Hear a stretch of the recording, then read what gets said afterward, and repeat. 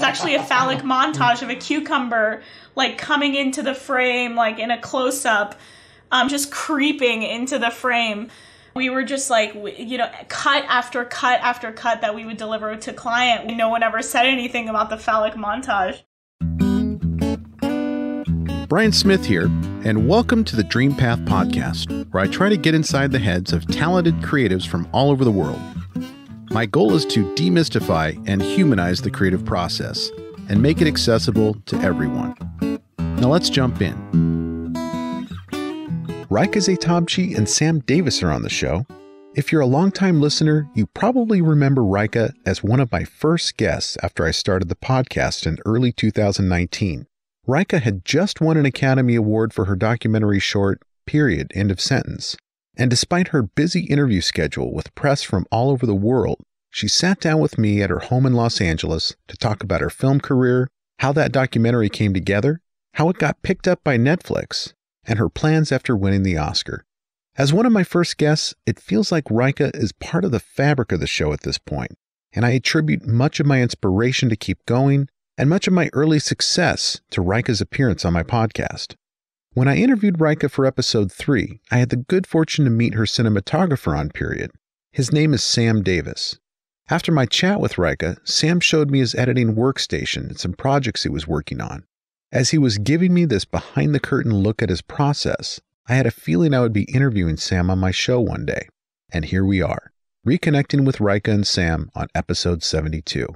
Rayka and Sam have a new documentary called A Woman's Place, which is streaming on Hulu. According to IMDb, the film captures the stories of three chefs, their careers, and their shared experience as women in the culinary industry facing and overcoming institutionalized sexism. As each woman addresses the bias, harassment, and misogynist comments they've had to endure, we see how each chef has carved out a place for themselves in the industry, not as a female chef, but as a restaurateur, a chef de cuisine, and a butcher, respectively. A Woman's Place is a film about the power of playing by your own rules, even when the game is stacked against you. What you'll learn in this interview is that even though KitchenAid backed this film, therefore making the project what is referred to as branded content, Rayka and Sam were able to elevate this project into a compelling cinematic experience for viewers, while maintaining complete control over the look and feel of the film as well as the narrative. I watched this documentary on Hulu and was struck again by the magic that Rayka and Sam can work with such a short runtime. They have become masters of the economic use of screen time without skimping on production value or story. So let's jump into my chat with filmmakers Rayka Zehtabchi and Sam Davis. Sam Davis, Rayka Zehtabchi, welcome to the podcast. Rayka, welcome back to the podcast. Good to see you. A year later, the world is looking a little different, but it's it's looking different. It's to see your face. Yeah, your hair is looking a little different too. yeah, my my COVID cut. Uh, my my wife wants me to cut it down short, and my kids are like, "No, you have to have that for the podcast. It's totally a podcast vibe." Yeah, no, it definitely works with the whole you know guitars in the background vibe you got going. right. Yeah. So, uh, tell us about your new project a Woman's Place on Hulu. I, I watched it, but I'd love to hear how you describe it and how that came together. Yeah, so it was a project that um, it was a, a, branded content short documentary that came to us through um, KitchenAid. Uh, KitchenAid basically came to us and said, you know, we have this uh, problem in the culinary industry where women are faced with all sorts of challenges and, and biases. Um, and it's sort of like an environment that isn't very welcoming to, to women. Um, and we also have this issue where, you know, we see like 50% of culinary school students are women, but then, you know, once they actually go out into the world, only 7% or something of of executive chef positions are actually held by women. So, really, what's happening um, in that process. Um, that's kind of turning so many people away from from the culinary industry. And so um, you know they they were very interested in like making a film film so they called it. Um, and it you know wasn't like you know we want our brand to be very present in this or you know this is we're going to have our logos or product in the shots or we want to do it this way or that way. They were literally like we want you guys for the the talent that you have as filmmakers just being the creatives. And um, these are the subjects that we found. These are the stories that we think are compelling. And we want you to go you know capture the truth and go make um, a film film that uh, feels like a cinematic journey and feels you know really beautiful and special um, and we're going to kind of take a step back and let you do your thing so and that's a really uncommon thing too in the, in the advertising world a lot of times creatives feel very stifled in their work on, on commercials and, and branded content because the brand's hands are you know the, the brand is too involved and it becomes um, it could become a really frustrating process. But this was really the opposite of that for us, where the brand from the very beginning was so, um, you know, really empowered us to think big and, and try to make something that wasn't just a, an ad, so to speak. It really doesn't feel like an ad at all. Uh, you know, a piece of entertainment that, that was good enough to to go to a major streaming platform. Yeah, it's interesting. I mean, you call it branded content, but I did not. When I was watching it, I had no idea that anyone would call it branded content. To me, it was just there's a powerful message in this film. It's a very tight, economical uh, use of screen time, and um, and then you see at the end, you know, thank you Kitchen, KitchenAid and hmm. uh, the James Beard Foundation or whatever. Right, and that's kind of the idea, right? It's like they're aligning themselves with a cause that you know they feel as a brand is really important to them um, adding their voice to the conversation um, as opposed to saying, you know, this is like sponsored by KitchenAid. Um, it, it's really just like entering into a conversation and allow allowing that to happen. And you know what's interesting is like we're finding there's a little you know it's sort of the beginnings of this right where there's like a trend where brands are kind of moving towards pulling away and allowing filmmakers to go out and make the projects and um, and and not having a heavy hand in in the process. Um, but I, you know, I think like one thing we've observed is that it's it's really difficult and it's scary for brands to do that, to sort of relinquish that control.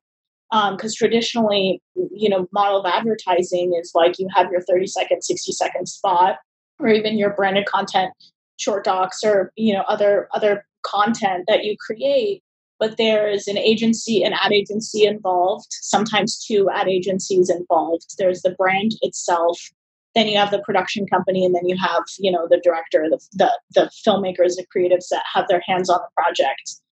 And um and it it can sort of get muddied really quickly. Um the the sort of initial messaging that they were they were seek going out and seeking.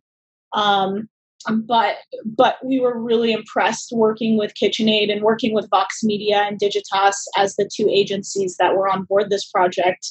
Super impressed with with the fact that they really, you know, they they really walk the walk and they talk the talk. Like they mm-hmm. they set out to do this, and you know, even though there's like 80 other people involved in this project on the brand and agency side, there was never a single moment that I can recall where it felt like we were bogged down in any way or or um, the vision was not being you know heard or I felt like my voice as the director was not being heard or listened to.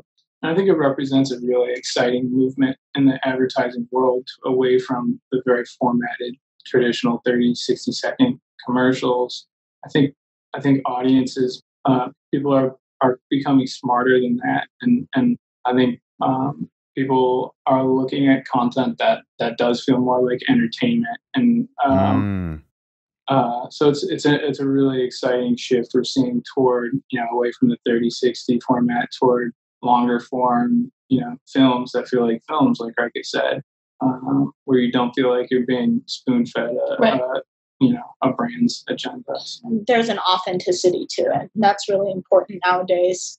Yeah, I you know I've noticed that now that you bring it up, um, I'm looking back on an interview I did with a uh, a marketing consultant, uh, an ad consultant named Jim Haven, and um, he had he's been a part of some pretty big ad agencies throughout the world. But uh, one of his um, uh, one of his claims to fame was this Pacifico beer campaign, where he took this old Super 8 camera to the beaches of Baja, um, California, and Mexico, and followed these surfers around.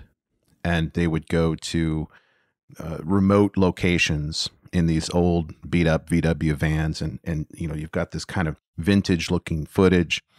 But the stories that you're seeing told through these they're I, I would never call them commercials ever.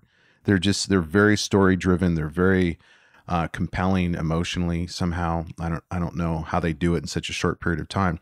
I know how you accomplished it here because i mean you have a full-on documentary short here on these three um, you know, uh, food service workers, chef, a chef, a butcher, and a restaurateur. Um, and uh, it's it's fascinating to me that there's this um, intertwining that's occurring between, uh, you know, the documentary film world and uh, the commercial, you know, these these corporations that are looking for ways to, like you're saying, brand, branded content, tell an important story, but not get in the way of the story. Mm-hmm.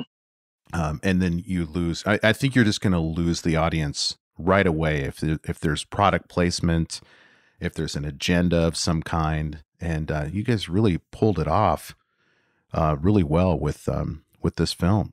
Thank you. Thank you. So what were the what were the constraints going in? Uh, were there were there like rules that you had to follow? Were the subjects already picked for you, or you were you, were you part of that process of finding who the subjects would be and also finding the story um, you know sort of teasing that out of each of the subjects of the film? So this is the interesting thing is like you know th- like even if kitchenaid wants to sort of you know have less of a hand in in sort of the the creative process at the end of the day like there are certain aspects of um, the commercial industry and the, the workflow that kind of seep into the project because you, you have your foot in both worlds. Um, and so, so KitchenAid had done, KitchenAid and Vox had done a lot of the heavy lifting before we even came in onto the project to um, to vet and select these um, these storytellers, if you will, these um, these subjects. Right. And so there was a, a, very kind of exhaustive research process, interviewing you know multiple subjects, and they narrowed it down to these are the um, the people that we feel um, you know have really compelling stories, and also together can sort of capture um, a wider look at what women face in the culinary industry. Um, one of them being the butcher, one of them being the the chef, and the other being the restaurateur. Um, and so, so when we came onto the project, we kind of we had those subjects ready to go, but it really became about that creative vision. How do you now tell their stories? Um, and, and what aspects of their stories do you really um, hone in on? So, so that was that was um, you know really interesting process, and also it all kind of I, I think a natural constraint of working in branded docs is is that you don't get very much time with your subjects. Um, you don't you don't get a ton of shooting days because the turnaround is, is a lot faster.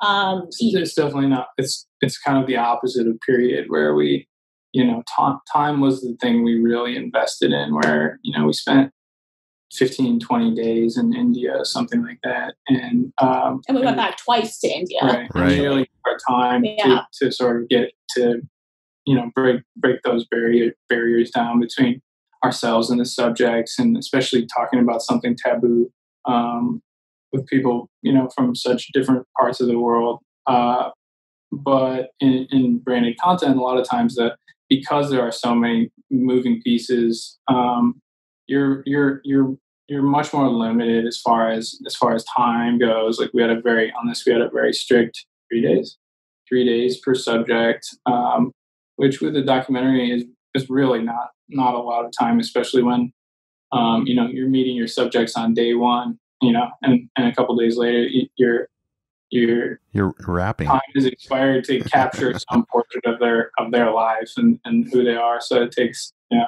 And you had to you had to talk to you had to talk to family members too. I mean, you just didn't have a, Yeah. a subject. You were in the restaurant. You were talking to family. Boy, that's a that's a packed schedule.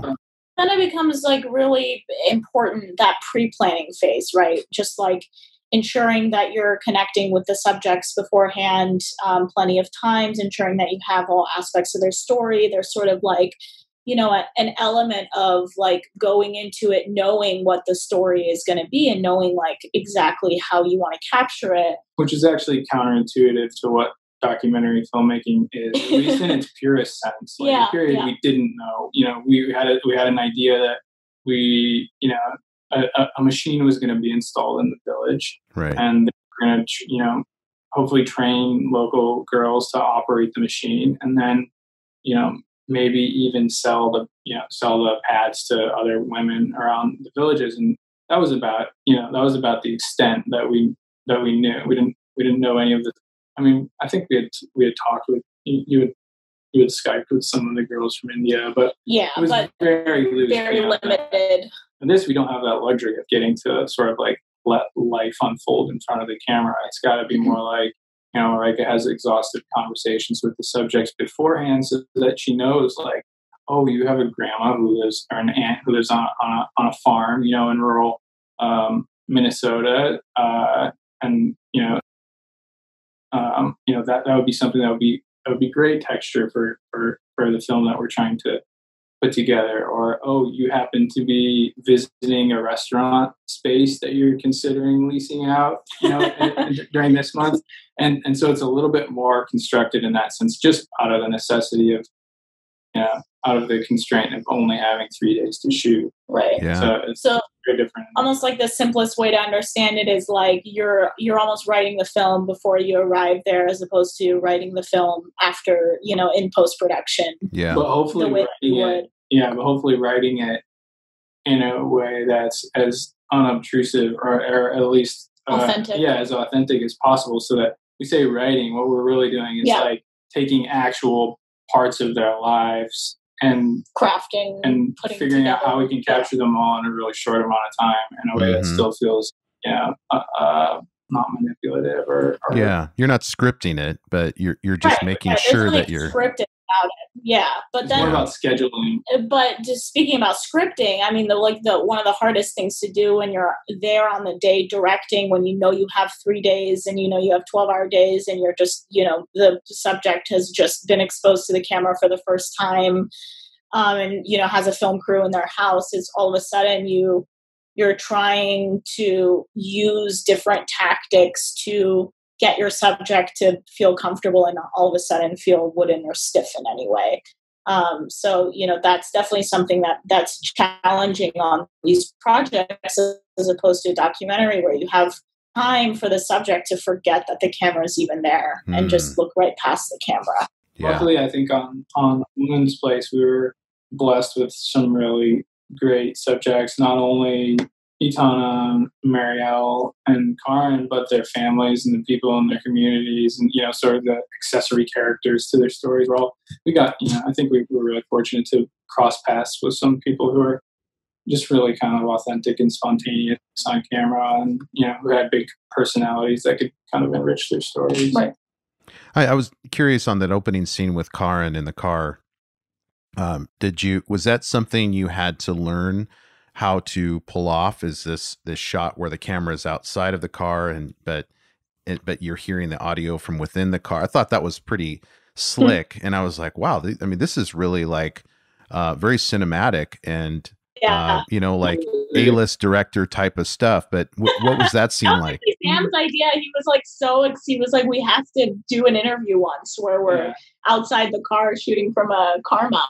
Yeah, we're always looking for ways to do, as you know, especially with this project, where like we wanted to kind of push it stylistically a little bit and see, you know, um, how we could make it cinematic and, and unique. And um, we didn't want to do, we, we didn't want to depend too much on formal sit down traditional interviews. So we were trying to think of ways where we could have our subjects, whether it's like while they're preparing a dish or while they're driving, and just sort of in a way that feels like they're almost almost like they're talking to themselves. Um, and so the idea behind that shot specifically was just that, you know, maybe if we just mount the camera to the hood and let let her drive around her her community and and, and kind of show us around, uh, it might lead to a a moment where she could sort of just um, almost introspectively, you know, kind of just talk, and, and maybe we'd get some some little golden moments. So we we drove around for probably close to two hours, I think. And I just sat in like the trunk, basically. We're both, we're both, and just, yes, yes, you know, like uh, almost like having conversations with Karin myself, where I was like, like prompting, yeah, kind of. prompting and saying like, oh, but but in a very kind of relaxed and casual way, getting her into that headspace where she doesn't realize, but she's actually speaking really intimately, mm. you know, in terms yeah. of like her tone and her, you know, yeah. the volume that she's speaking at. It feels like it's meditative and like she's just driving down and kind of reflecting on her childhood and all the memories she had growing mm-hmm. up in this land. Mm-hmm. Um, yeah. So it was it was kind of setting the mood for her in that way, and then kind of prompting her to you know talk about certain certain things. And we actually you know at some of our favorite stuff, I think. Um, and that's why you see it kind of as the opening of the film and also the closing. which is another great film. example of the of the of the brand brand giving us so much creative liberty because like the movie starts with like a I think it's almost like two, two minutes minute long. Yeah, long, yeah, two minute shot. Yeah, of of her just kind of like waxing a little bit, and um, and, she, and it's kind of rambly and probably unconventional to hold on it that long, and um, but she's talking about survival, uh, specifically in her rural farm community and how the how the weather plays such a mm-hmm. an important role in that. And we just love the idea of that uh, as a as a as a for its double meaning of um, women, her, and the other subjects, and all, all women in the culinary industry, sort of fighting to survive, especially you know during a pandemic. And so we thought that that was which really cool it, there wasn't a pandemic at the time when she was talking about it. So you know, yeah. fast forward six months later, there's a pandemic, and the restaurant industry is really suffering, and the mm-hmm. farming community is really suffering, and everyone's suffering. But it sort of added this other really rich, you know, context yeah. um, to yeah. it. The whole meaning of the film was sort of compounded while we were cutting it because the you know the mountain that women in the culinary industry are climbing kind of doubled uh, amidst the pandemic, where the restaurant industry now is hurting even worse. And, and the uncertainty of Karin's future and right, the exactly. future of Marielle and the future of Itana is like, you know, that there was a moment where we had finished cutting the film and we're like ready to start sending it out into the world. And like we realized all of our subjects were actually at home in quarant like quarantine and hadn't been working for like four months or something. Um, and that just that just really changed the meaning. Yeah. i think we had cut the we we had, we had already cut the end of the film which is the moment this sort of kind of like cliffhanger moment where karin um, we see her restaurant, her her prospective restaurant space, and there's sort of this, you know, hopeful, hopeful, but kind of unsureness. Um, and the end, and that just took on a whole other meaning, you know, like yeah, said, in the came like of, ghosts almost yeah, in the restaurant. Yeah. yeah. this empty restaurant. Like space. our past experiences as opposed to what the future might be for. Mm-hmm. Yeah. I think that the, going back to that opening shot, I mean, what was so brilliant about it, I think Karin just so brilliantly encapsulated why the town is more complex and layered and the culture is more complex and layered than outsiders would think. And mm-hmm. so it gives her, you know, what it does for me is um, it it shows just how sophisticated she is and the choice that she the choice to stay where she's at as a restaurateur um, is based upon a pretty nuanced understanding that you know when people say how's the weather? uh, that that is not a cliche. It, we see it as a cliche because these mid you know these midwesterners are you know simple folk or whatever but it, it's so brilliantly um, shows you why that this this is an important community to her and and I think that she, I mean, you sitting there prompting her probably elicited that, but she um, she did a really good job with that. Absolutely amazing, and that's yeah. where you know it's a balance, right? And you feel so lucky to have such wonderful subjects that are so like in tune kind of with with the film that you're making mm-hmm. so right. it was like i said we were in the car for two hours but when, when we were like crammed in the back seat kind of on i think my leg was like my knee was like next to Rayka's face and you know awkwardly holding monitors and but when when uh i re- distinctly remember when she when she said that line that's in the you know that kind of long soundbite in the first two two minutes of the film we both looked at each other and we were like yeah, our eyes so just good. widened because we knew yeah. how profound yeah. it was and how organic the whole thing felt. Right, and that's that's exciting. And we were looking for moments that we didn't have to cut into too much. Like it's easy to, you know, call it frankenbiting, where you like you cut you cut tiny little pieces of of, of dialogue or interviews and you and you paste it together so it's just the right you know it's hopefully hopefully the perfect line but we're, we're looking more and more for moments where you know we can play out long truthful you know uncut mm-hmm. chunks of life and and that yeah. was so perfect because you know there was nothing that needed to be cut out and it was such a sort of honest spontaneous line as you may have noticed there are great resources and advice mentioned in all our episodes and for many of them we actually collect all of these resources for you in one easy place our newsletter you can go to dreampathpod.com slash newsletter to join. It's not fancy, just an email about each week's episode, featured artists, and resources to help you on your journey. Thanks. And now back to the interview. So, uh, what went into your choice to have this be a pretty visually dark uh, film? and what I mean by that is a lot of shadows, and you know, my my instinct as if I was going to try to be a filmmaker, I'd be all right. Be, let's light up this place. You know, get a light there, make sure she's lit and he's lit, and um, but you guys really lean into the darkness of you know a restaurant or a home. You're totally at peace with that, and it it really provides some nice texture that I don't see in a lot of um I don't know, I just don't see it in a lot of TV or film or, or documentaries. Yeah, that's interesting you say that. I think a lot of people like are always too nervous to uh to go too moody with things, but I mean Sam can touch on this, you know, because yeah. that's your specialty, but a lot of it is like is from a story perspective, like capturing really what these women deal with and experience when they go back home after work.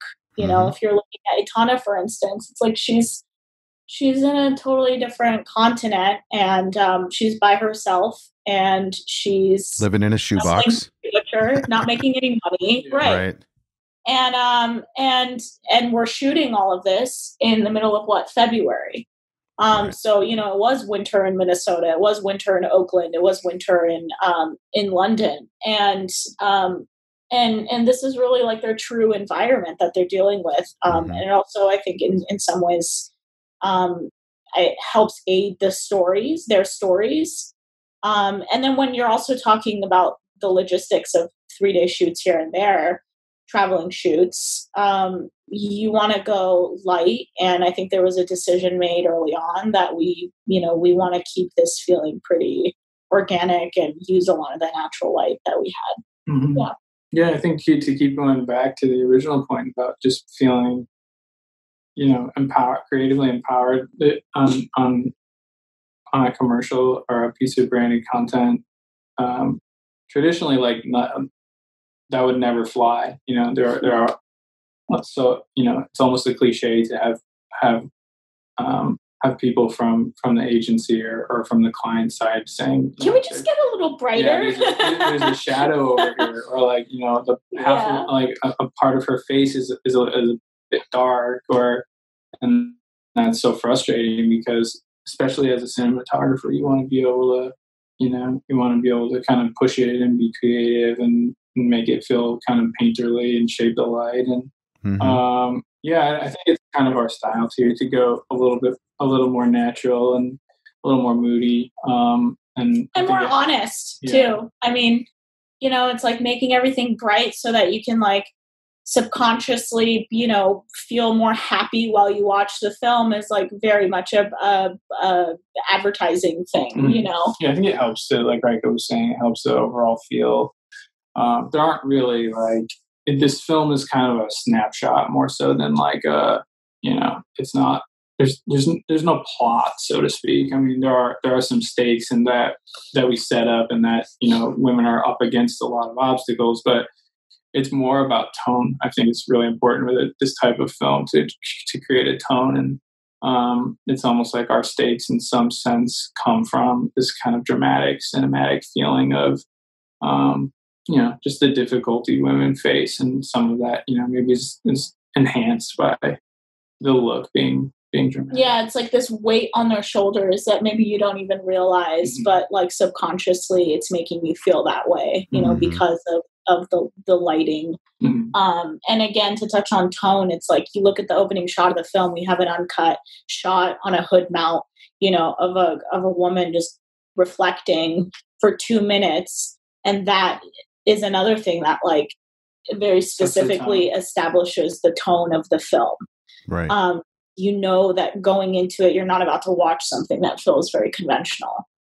Yeah, I like it. It it kind of had the same look as Fargo. I mean, at the Minnesota shots, I was like, is she going to go to a wood chipper? No, I, no, but well, it, it, we were in Minnesota in like February, and it was literally the coldest place. I think it was negative twenty. More than that, it was like negative because we were out in, you know, we were out there. The so, so, like so, neg- what what went into your what went into your um you know decision making about how to dramatize the harassment that they felt because it, it, it was very brief and effective you know the techniques that you used um, and and and just efficient you know and i, I think it, it, it was well done but how did you approach that issue of not being too heavy handed with it but you wanted to make the point visually yeah i think it was like having fun with it a little bit and again we kept going we can't believe they let us do that. There's a shot of like a cucumber phallic, coming, a phallic montage. symbol. yeah, a phallic montage of a cucumber like coming into the frame, like in a close up, um, just creeping into the frame. Yeah. And we were just like, you know, cut after cut after cut that we would deliver to client. We were like, just aghast no when we would get notes back and no one ever said anything about the phallic That's montage. Funny. I remember showing Rayka that the because I think I caught that late at night or something. and you're like, it's great. They're never gonna let us. yeah, I was like, that's great, but that's not. There's no chance. Like, let's try, but there's no chance. I guarantee you, they're gonna come back and tell us to take it out, and they didn't. But we um, had fun with those. It, yeah, it was like almost how can we make it feel a little bit like satirical? You know, how can we yeah. just like laugh at them a little bit? Um, you know there there's like moments where the men are laughing and it's just like so dramatic and it's in slow motion and it's funny but it's it's meant to sort of you know keep us moving along and like kind of you know not not point the finger too hard or dwell too much on on some of those past experiences um as a as a funny anecdote we shot those we shot those recreations in an open um a functioning restaurant kitchen and who I think absolutely underestimated what having a film production in their kitchen would look like. and we, and this is a kind of a high end restaurant and very busy. And we, they, they, luckily they had two kitchens and we were in what they called the prep kitchen. Uh, but it was still fully active you know, it, it was not like we yeah. were absolutely in people coming in and out of the prep kitchen, working yeah. in the prep kitchen so while we're all shooting. that stuff was shot, and it was that that stuff was like pretty heavily lit and yeah. steady cam, and uh, it was not small. It was, a, it was we had like extras and whatever, and so it was war between the, the restaurant staff and, and yeah, it was definitely a, that day was definitely a grind. But yeah, I mean, what we would do is like every every new location that we would be in, we would shoot those recreations kind of after we heard um, every woman's initial interview. so we would we would shoot the interviews first because we had three days, and you talk about being efficient. Like a lot of it was pre-planned, knowing what the stories were and knowing what recreations we wanted to do. But with that said, we still scheduled their interviews for the first day so that if we got any golden moments that we, you know, didn't even we hadn't known about Mhm. before seeing like a towel them. whip or something. Yeah, like a towel Right. whip, for instance. We or the phallic thing, even we didn't know that was really a thing until it just organically came out, you know, in one of the interviews. So that way, you know, we we The put the day we shot. recreations like I think on the third day, Our and so we producer came, had back, came to time set to with a plan. bag full of, of gourds and, Yeah. and, and cucumbers and you know anything that looked Yeah, remotely phallic. but it's funny. It's like those are things you have to think about when you're doing branded content and you're doing it on a you know a short timeline. You know, those Yeah. are not things you necessarily you know have to be preparing for when you're doing a doc and and you're out there for a month shooting. Mm-hmm. Yeah, well, it's it's totally spot on. I mean, my first job at the age of 15 was in a restaurant. I was a busboy, and I got to know all of the kitchen staff. And I can tell you, you know, the cucumber. I mean, it's just like you you give a cucumber to um, a locker room full of seventh grade boys, uh, and and it's no different than a kitchen. You know, the- Yeah. the environment there. So you you were spot on with that, and it just it totally accomplishes what you're trying to accomplish, which is this is a man's world traditionally and you know when women enter it's like they have been historically uh, been expected to just put up with the antics and the the harassment uh, but very well done uh, both of you it's just um, it's really good to connect with you again Thank you. um, I I did see. I looked at your filmography and I saw a, a documentary short called "Just Hold On." Was that a South by Southwest um, entry, or can you tell me more about that film? Yeah, just hold on. Sam and I co-directed that film, and um, it's a really little sort of slice of life, short seven-minute film, and um, it premiered at South by Southwest. Uh, so the you know it was not in person; it was online because South by Southwest was like one of the first major Yeah, it was the festivals to cancel I remember that. Yeah. because of the pandemic, and um, it was like a week before, I think. it was had literally a week Yeah. before yeah and um you know we're so grateful because it ended up they ended up doing the online festival and we ended up um, being awarded the jury a jury award for best texas short um nice. Congratulations. it's almost shot in texas and Mhm. it's um just to really you want to talk a little bit about kind of the where it came from like how Sure. that idea We- was born Uh, we saw uh, the film is about a sport called a rodeo sport for children called Mutton Bustin, which is where basically where kids ride sheep, little kids like like three to three to five year olds. It sounds adorable. It's adorable and also um, a little traumatizing. Like we, For I the think sheep? first- uh, for both, probably. Yeah. The, Yeah.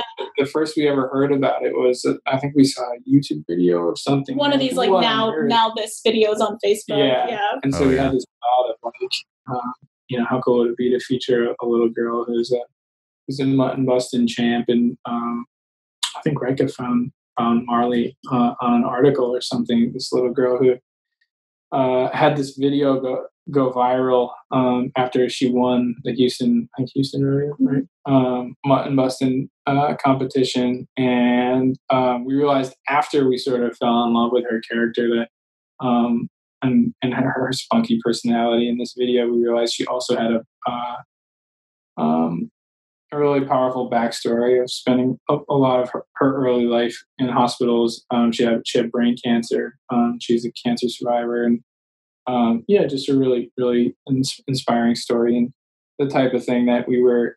After period, it was easy to. Every project felt very high stakes. You know, it felt like everything had to be very big and, and, and like it targeted toward toward major festivals or awards. And we really just made this film out, out of fun. We kind of packed up and um, Rayka and I and uh, our producer Merdad um, went to went to Texas just for literally for two days. I think we came off a shoot, flew out that night, shot Saturday, Sunday, Yeah, that was a came back fast one. Monday morning. So it was so fast that we uh, didn't have time to back up our hard drive mm, with all the footage on it and the day that we got back and I plugged in the hard drive to start backing it up, the hard drive wouldn't mount and Oh, we basically lost yeah, lost everything. Everything. Oh The, my um, goodness. we we were able to recover it, but not after, not until basically I think double our, our total budget. I mean, we made the film for for pennies, and and uh, and so you know we had to pay a lot of money to recover the footage. Eventually, we got it. Got it. I think we got everything back, and uh, we did. But Wow. there was a period of like one month where we were just like, oh man, we Yeah. lost it. Well, we didn't lost want to pay either because it was such a you know it was already such a small project. and we Yeah. like, How do we really want you know do we want to invest in this? But we're glad we did. It was the type of thing we made purely, you know, for fun, and um, we didn't have you know big festival expectations or anything necessarily. But we, we thought South by could be a good home for it because because of the Texas, Texas, Connect. yeah. and it's a very you know it's a quirky South by Southwest brand type film, and uh, yeah, we submitted it, we got in, and um, that was a surprise. It was a surprise. I remember when I was in your apartment interviewing you, um, well, about period, and uh, Sam, I w- I remember you were sitting at the computer and you had all these hard drives, and I was asking you about that process and the backup process, and you're like, "Yeah, we back up to this, and then we back up to that," and Yeah, um, so paranoid, and it for for good reason. I mean, you don't want to lose that footage. oh, absolutely. So, what is the um, what is the outlook for you as filmmakers right now, given what's going on with COVID and things opening up or not opening up? I think you just work around COVID like most people are having to do now. The last couple Um, months, we last two two months or so, we've we've kind of hit it pretty hard. Going back to, yeah, I, mean, I, I- I work as a DP, so we're we're not always working together on the same projects, but um, we co-directed a narrative short. Um, there's definitely like, I think, you know, we've spent a good chunk of time, maybe not a lot to some people, but, you know, we spent like two years or so working in, in sort of the branded space. Um, we still are. and then also and we still are working in branded content um, and then we've spent several years now working in just kind of strictly documentary and so there's definitely a desire and a push for us to both start um, sort of expanding our horizons a little bit and narrative was kind Working of working in our, our narrative. first. We we we went to film school. You know, we wanted to make movies, uh, and narrative films really primarily. We kind of fell into. it. I mean, Period was Rayka's first documentary. I had shot a lot of docs, but um, Period was also kind of my first like Real. like my baby you know, Yeah. documentary, and Mhm. um, and so yeah, we're kind of making a, a concerted effort to get more into um, narrative, and so we we shot a narrative short recently that we're really excited about. We're going to start submitting to festivals soon. All right, what's the name of that film? Or can you say, yeah it's called are you still there are you still there? yeah Oh, right on. Yeah. So we're staying busy. It's the the world is the film world is is slowly and somewhat Yeah. differently opening back up. And, it's it's opening back up more for like small productions you know so Mhm. like you know i've done a couple commercial jobs sam's done a couple commercial jobs um you know we've had our short film production it, it it's um it's a lot easier to kind of manage and control the covid situation when you're working with a you know a small kind of skeleton crew Right. as opposed to working on a TV show or a studio film. So Yeah. we're not really there yet. So Mhm. um so that's not really much of a concern for us right now. Yeah. Great. Well, it's so great checking in with you both and and uh, hearing what you've been up to over the last couple of years. Um, I'd love to talk to you again when your your narrative uh, short makes it into festivals. For sure. Loved it. Maybe we do a checkpoint every year. Exactly. Yeah. Interesting things going on for you. Yeah. Well, you guys um, have a great weekend. Thank you, Thanks, Brian. Brian. All right, you guys take care. Hey, thank you for listening, and I hope you enjoyed today's episode. If so, I have a favor to ask. Can you go to wherever you listen to podcasts and leave me a review? Your feedback is what keeps this podcast going. You can also check us out on Instagram, Twitter, and Facebook with the handle at DreamPathPod. And as always, go find your dream path